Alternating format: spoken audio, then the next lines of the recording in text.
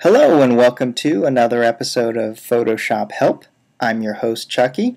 Now some of you may be going around on a mad dash trying to find that special gift for someone who seems to have everything. In my episode today I'd like to show you how to take a magazine cover and put your favorite loved one, your favorite arch nemesis, your favorite pet, whomever it is that you would want to have on that magazine cover, I'm going to show you how to do it in a few simple steps. Now let's go ahead and take a look at where I got some of the magazine covers. Now of course I like to use my favorite Google and that's because there is a specific section that allows you to look for images.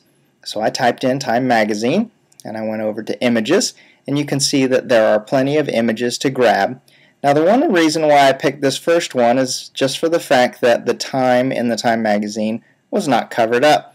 You'll notice that some of these, the Time magazine is covered up, and I'll show you how to do that as well.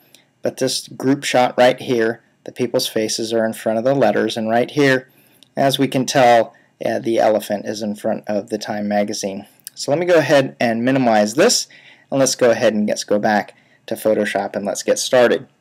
Now the first tool I'm going to use is the Magic Wand tool. The Magic Wand tool selects colors of similar uh, values. And so normally the default is 32 and I've changed mine to 100 and I've just kept the default, the anti-alias and the contiguous.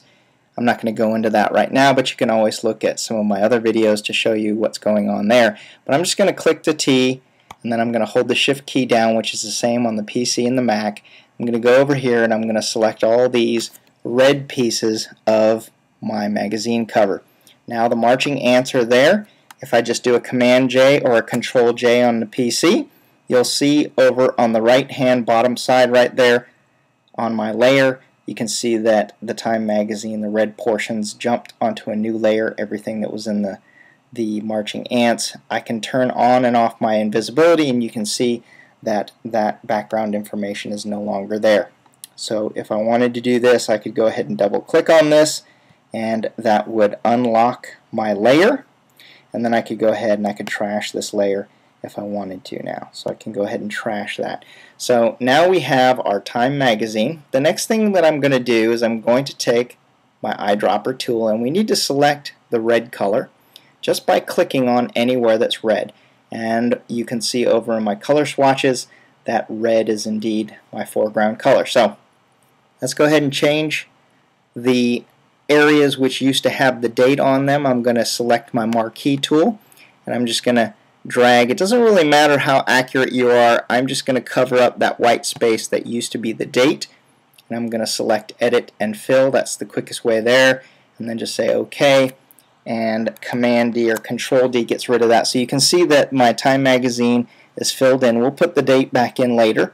The next thing I need to do is I need to make a selection here of that corner part of the T which was not selected. I'm going to select Command J again and that's going to make another copy of that little area there. And then we go into the Edit, Transform, and then we're going to go to the very bottom there and we're going to flip this vertically and hopefully this works and I'm going to use my move tool. I'm going to grab this and it looks like I didn't flip that too well. So uh, that was flipped vertically so I'm going to have to flip it vertically again. I seem to always get those mixed up. So I'm going to flip vertically again. There's that one. Now I have to flip it horizontally.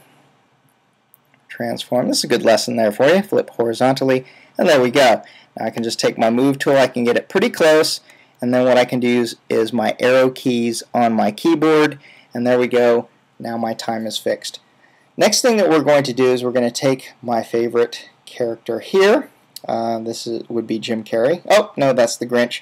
We're going to grab, using our move tool, we're going to grab this and we're going to drag this onto our Time magazine. You can see that, once again, it is on top what we're going to do is we'll switch that in just a minute. I'm going to take my Command T or my Control T, which is the free transform tool. I'm going to hold the Shift key, and what the Shift key does is that gives it, uh, makes it so that it does not get out of whack. It keeps it in proportion. And then I'm going to go ahead and kind of center that right here. and then I'm gonna hit the enter key so what I've done is is I've just kind of resized my little Grinch there and I've held the shift key down so that it doesn't get out of whack the next thing I'm gonna do is I'm gonna take this layer and I'm gonna drag it under my layer 1 there and you can see ooh now uh, the Grinch is behind the Time magazine and what we can do now is we can go ahead and take our text tool up here and we can find kind of a correct size. Right now this is going to be a little bit big, but we can put December 27th,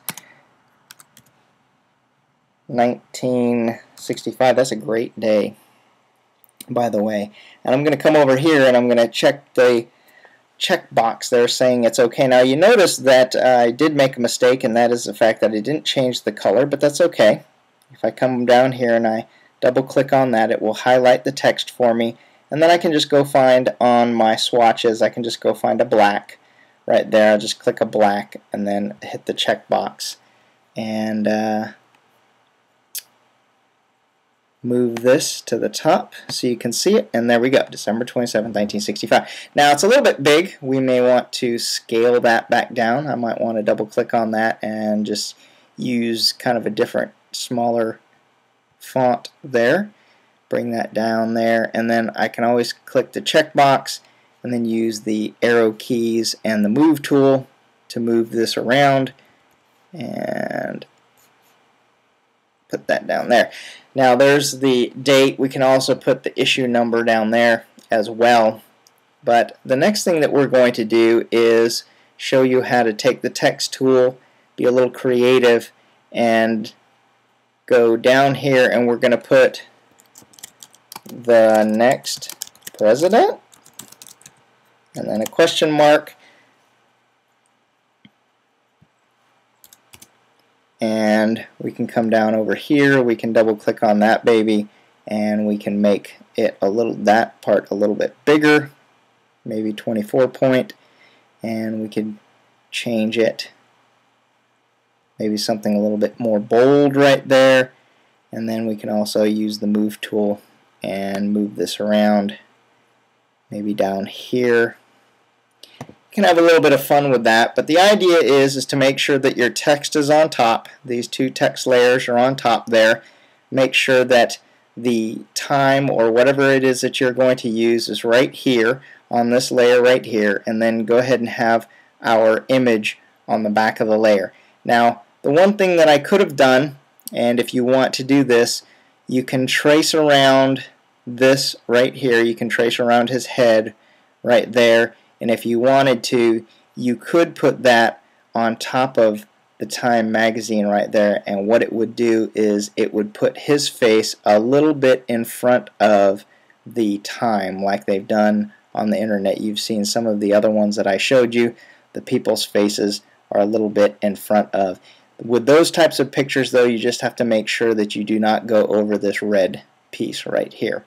So there you have it, the magazine cover for the person that has everything. So I'm going to go ahead and I'm going to leave you now so that you can go out and find some fun magazine covers and some fun pictures and put those together for that favorite someone. I will catch you later. This is Chucky saying goodbye.